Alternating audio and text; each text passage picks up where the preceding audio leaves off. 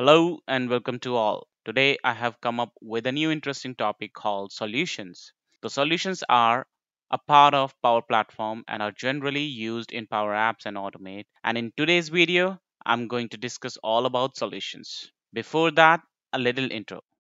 My name is Akash and I'm a Microsoft certified professional. I have been working with Microsoft services for the last 10 years. Today's agenda includes what is solutions, understanding the purpose of solutions, how it helps in exporting importing flows and helps in using environmental variables in flows etc then in the end of course a little demo on how we create solutions and import them from one environment to another. Many a time we come across a situation where we design a solution using multiple flows. In SharePoint, we often face the situation where both test or dev and production environments are in the same tenant. In SharePoint, we do not have different environments like Power Platform, but we have only a single tenant.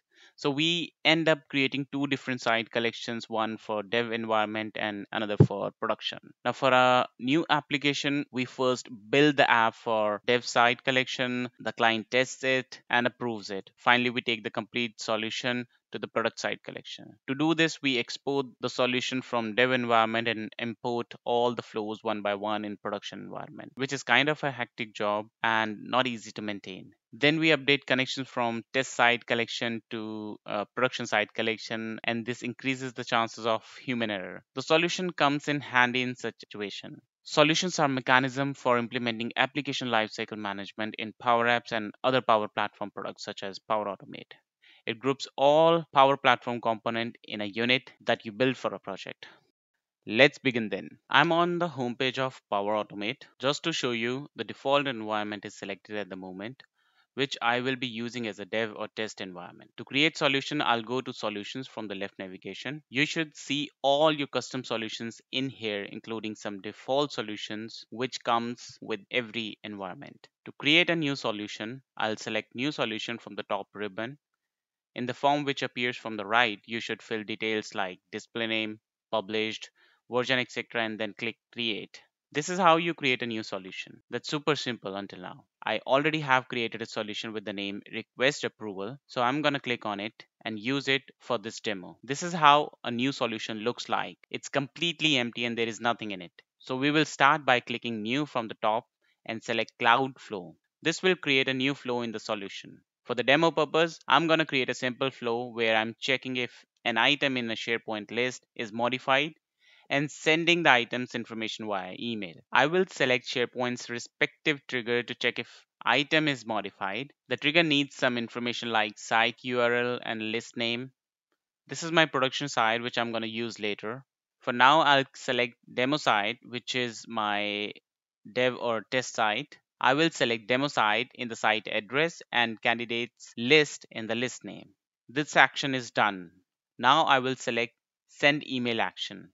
I'm going to send it to myself with some information like item's name and link in the subject and body. The flow is completed now, but this flow is targeting to demo site. And if I'll have to deploy the same flow to production site, I will need to change the URL of the trigger in the flow. A complex project sometimes designed with four to five flows. And in such a situation, one has to change the URL in all the flows manually. To handle this situation in a better way, Microsoft has provided us a very nice feature called environment variables. To create environment variables, we'll go back to our request approval solution. We will again click new button and this time we will select environment variable. Again, a new form will pop up from right and where we will fill some information. I'm creating this variable to store site URL, so I'll name it student site URL. And I will select data type as text. I'm not going to put any default value in it, but I will create a new value with the URL of the demo site. Similarly, I will create a variable for the list name and will populate it with candidate. Now I will go back to my flow. I will have to reconfigure the trigger to pick the URL and list name from the environment variables. Now the flow is ready. Let's try and test it. I'll go to my demo site and try to update an item. Let's go to my Outlook and check if I have received the expected mail. Here it is. I have received the mail with the item name in the subject and link in the body. Now let's check how we can package the solution and deploy it to production environment. Before proceeding and packaging the solution, we have to make sure all environment variables should be empty. We'll edit all environment variables one by one. Select three dots on the right side of the variable. Please make sure you choose remove from this solution. Once the variable are empty, we will go to the solution again, select our solution and click export from the ribbon. Then you should have two options which you may choose to publish all the changes in your flow which are left and not published yet and to check any issues if your solution have any that you can do by clicking on the run button. Once done, you will select next. In the next page, you should select export as managed solution if you are deploying it to the production environment and provide some version number. This will start packaging the solution and will download a zip file to your local drive. Now to import the package in production environment, we'll select production environment from the top right corner go to solutions and click import from the top ribbon. I'll browse and select the zip package and then click next. This will ask me to create connections for the actions we have used in the flow. But in case you already have one, it will not prompt like this. Once the connections are built, you will reach to the next page where the solution asks for the values of the environment variables we created earlier. So this time I will put production sites URL and the list name. This will then import my solution. This is how managed solutions looks like. Yellow bar notification on the top. You actually cannot edit anything in a managed solution, which is how it should be in a production environment. Let's check the imported flow.